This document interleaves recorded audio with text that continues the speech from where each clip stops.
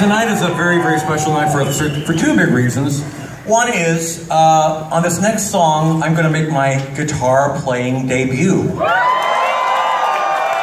I, my whole life I never learned to play the guitar, and I figured, you know, I, have been uh, in entertainment, I've been a recording artist, uh, and a professional musician for most of my life, and I should know how to play the guitar. So for the last several months, I've been studying and, and learning how to play the guitar so that I could uh, debut at the Apollo on this next song. So, speaking of which, um, we are so honored and humbled to be playing the famous Apollo Theater. This is just an amazing.